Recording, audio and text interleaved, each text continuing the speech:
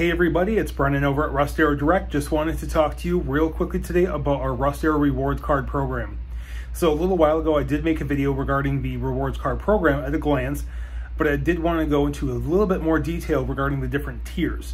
Starting with the middle tier, the Gold Card um, is the standard of what you get when you do purchase the vehicle from Russ Darrow.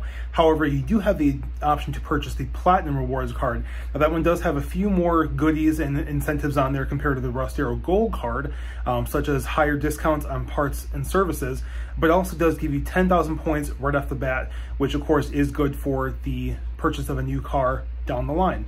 Now, if you are looking to just get service work done and you haven't bought a vehicle from Russ Darrow, you can still take advantage of our program with our silver card. And of course, this card does still include perks like free car washes, free shuttle services, and again, still does accrue points, which is good for the purchase of a new or used vehicle anytime in the future.